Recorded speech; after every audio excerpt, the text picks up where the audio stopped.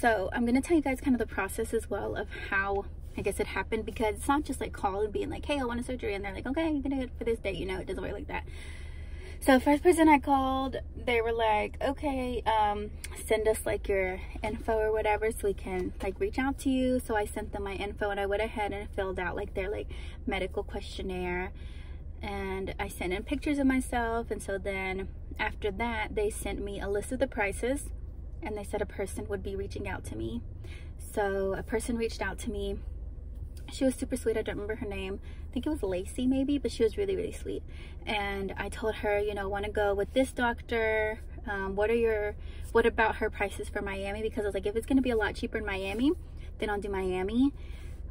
But it winded up being, um, it was going to be cheaper, but I would have to pay flight. I would have to pay hotel. Like it was just going to be an issue. And I'd have to travel by myself. So I was like, whatever. We'll just do here in Atlanta and pay a little more. It just makes sense, right? and then my husband can kind of take care of me as well so after i told her what doctor i wanted she was like okay um, you just need to send the deposit to lock in the price and i was like okay well that happened on like a wednesday and i tried reaching out to her on friday like that same friday and i couldn't get a hold of her emailed her couldn't get a hold of her and then monday they finally called me back and I was like, hey, I've been trying to call you since Friday. I do want to go ahead and lock in the price with Dr. Pendergast and a date as soon as possible. And she was like, well, her prices have gone up, but since you have been trying to contact us since Friday, we're going to go ahead and honor it. And I was like, oh my gosh, thank you so much. So I went ahead and paid the, de the deposit, which was like, I think like four something. And unfortunately, even though I was going to pay in full, so I was going to pay in full, but use my husband's credit card. And they will give you a discount, a $500 discount if you pay in full using cash or debit card. But since I used his credit card, it didn't count. And then I even asked her, like, what if I pay half cash and then the other half on his card? and like to me, like, you're still paying in full regardless. Like, they're getting their money, you know? But whatever, I didn't qualify for the 500 off, which kind of sucked, but whatever. And then whenever I told my husband, he was like, I mean, it really doesn't matter. Like, you're not gonna go to the bank and deal with all of that. So I was like, okay, fine, whatever. And I really just wanted to lock in my price like ASAP because I saved up half of the money by myself. Over half of the money I saved up by myself. And so at first he was like, I mean, it's a lot of money. Are you even gonna have enough to do it?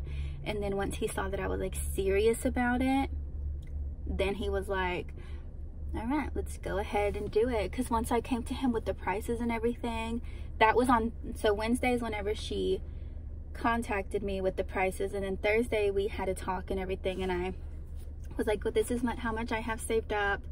And he was like, oh, dang. Like she saved that up real quick. Like he didn't think I was going to be doing it until next year.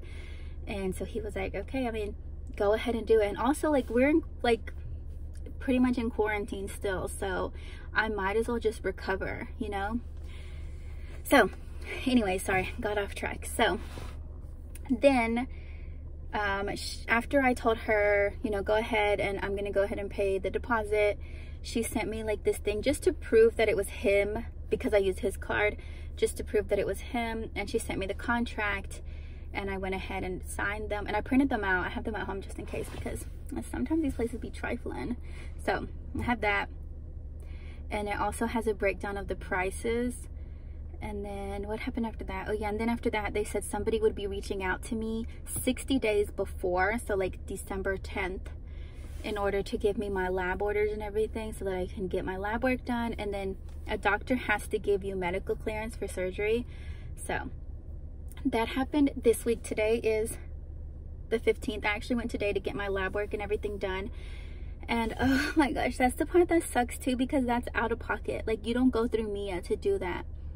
So whenever I had originally called my PCP, I was like, hey, I need to get medical clearance for surgery and I need to get labs done. How much is it gonna be? And they were like, oh, well, it's gonna be at most like 220, least 190. And I was like, okay, that's fine. Tell me why when I went to pay, they were like 315. I was like, oh my god. But I couldn't do anything because they had already done everything. So I was like, I was like, okay. And so I just like paid or whatever. So that's out of pocket as well. You don't do that through do that through Mia. They said that in the email like they sent me, they said that you can go to just urgent care and then you can also just get the lab work done at like this place called Quest or something. And I guess they have them like all over the US. so anyways, lab work is done. I go next week to get the results and she's gonna fill out the paperwork with me for the medical clearance because she said like just in case she wants me to like be with her to make sure that she's doing it right. And then after that, so you have 60 days, right? That's 60 days before surgery. So December 10th is whenever like I got the labs and everything. You have up to 45 days before to turn those in just in case like you need to go get labs done again or whatever they give you like that little margin of error time you can go back and get labs done if you need to get them redone or whatever or you can like take vitamins or whatever you need right so hopefully everything will come back because I don't want to pay again so the next step now I guess is just waiting until yeah until I get my labs done. Well, until I get my lab results. And then we're going to send that in and see what Mia Aesthetic says about it. Um, I guess if you guys have any more questions, just let me know. But I am super excited. I am super nervous. And I'm trying to, like, I'm literally trying my hardest to lose weight right now. Because, okay, say you look like this, right? Like this, your body. And then they give you lipo. And you're to go like this. But say you're like, you lose weight before and you're like this. And then they do lipo and you're like this that's what I want. I don't know if that makes sense, but that's what I want. Like, I know my results are going to be so amazing, but if I lost weight, they'd be even more amazing. And the biggest reason why I wanted, why I want to do the surgery is because I have hip dips. Like, I mean, it's like straight hip dips. Like, it's, I hate them. And I've always been really self-conscious about them. Even if I lose weight, even if I work out and everything, I just can't get rid of them. And speaking of like working out and stuff, I have been working out consistently for over a month. Um, I was watching when I was eating pretty strictly, but then last week I kind of like fell off the wagon for a little while and it wasn't crazy, like wasn't binge eating anymore. I am trying to have a healthy relationship with food um, for my sake. Like I don't care about it. Like you do, do whatever you want, but um, I just, have been trying to do better and make better choices but also if i want a piece of pizza i'm gonna eat a piece of pizza whereas before i would be like i want pizza and i'd eat half a pizza it's like okay just like one piece of pizza. And i was taking the phentermine as well. You have to stop taking phentermine 30 days before your surgery. And i was gonna start it again this month but we're already at half the month and so i don't think it's worth it to pay for them because they are like a hundred dollars. So that's like another like added cost to me it would be. So i'm just gonna try without but i was taking them um for october and half of november sorry anyways. What else what else what else what else what else what else what else? So yeah i've been working out like crazy. I have started today again watching what i'm eating making sure that i'm drinking a gallon of water because i realized that i just feel better whenever i do. And like eating wise since i was eating semi-healthy i was limiting more than anything fast food. I was limiting french fries like greasy stuff and so whenever i would eat that stuff like I would feel like crap like my belly would just hurt like it would just feel like heavier and I would just get like pains and stuff so I also feel like this is just better for me. I actually cut soda out like over a year ago and now just taking a sip of it like literally like burns my throat. So that I think is the best decision that I've made. Usually um, for the most part I just drink water.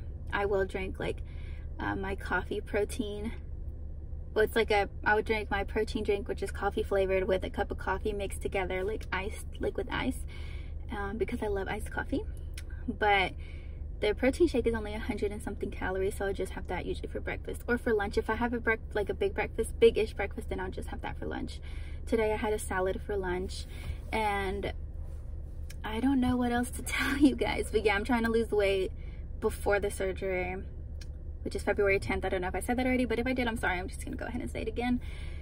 And the question that i get asked the most is where i'm going. Like even though i constantly tell people i'm going to Mia Aesthetics in atlanta people still like they just don't pay attention to the comments i guess. I don't know but that's where i'm going. So yeah now it's just a waiting game i guess. And i've made a list of all the things that i need to buy for aftercare like i'm gonna buy i'll show you guys the list i think later on but for now preliminary this is for me as well. Um I'm gonna get like a shower curtain to put on top of the bed and I haven't decided if I'm gonna sleep on my bed. We also have like an air mattress but it's like a queen and it's like literally like a bed bed. Like it's not one of those like Jaffa ones where you sleep on it goes all the way down to the ground. No it's like really comfortable actually. And I'm gonna put like a mattress pad on it to make it more comfortable and then I'll put the shower curtain if I decide to sleep on the air mattress or Angel and the baby are gonna sleep on the air mattress so I need to get the curtain thing. I need to get my stage two faja. But I was talking to my mother-in-law and we're to see if we can find somebody like here in Atlanta that can fit me afterwards. Because I think you have to wear your stage one for like two or three weeks. So I need to find somebody afterwards. Because right now if they fit me, they're going to be like, they're going to fit me in a huge one, you know. And so it just doesn't make sense to go right now. And I also need to find a place to do my post-lymphatic massages. So if anybody knows of anybody that does them here in Atlanta, um, please reach out to me and let me know what else oh yeah i'm gonna buy the arnica tablets somebody said those are pretty good i need to order them from amazon the arnica cream somebody else said like a cbd lotion or something is very helpful what else oh compression socks for sure i'm gonna buy a few robes just so i can like just be in the robe because the faja like it is gonna be in in february so it's gonna be kind of cold excuse me what else is on my list? I said compression socks, right? I can't think of anything else right now, but yeah, for the most part, that's that's it. So I guess if like you want to know anything else, just post questions down below, and then I will try to do a Q&A closer to the date. But I feel like I've already kind of answered everybody's questions already. Um, but they're like super nice at Mia Aesthetics. They get back to me pretty much on time, except for that one girl. But also I understand because I'm sure a lot of people are like, hey, I want to get this surgery done. How much is it? And then they just don't have a response So I understand that as well. Whereas everybody that I've talked to since, like the people that called me to do my labs and everything, they were super helpful. Like I call, like they answer right away. Like it's like I've had a good experience with them. I guess we'll see closer to the date what happens. What does suck the most is like my husband's gonna have to wait for me. He can't go in there with me. But it is what it is because, you know, of COVID and everything. But whatever but yeah i'm excited so i guess that's it um, the, i know this video has kind of been all over the place. There's a lot of information and i was gonna like write everything out and be like okay this this and this and like sub notes and stuff but this is everything just in one. I don't think i forgot anything. So yeah. Hope you guys have a good day and hopefully it won't take me half a year to make another video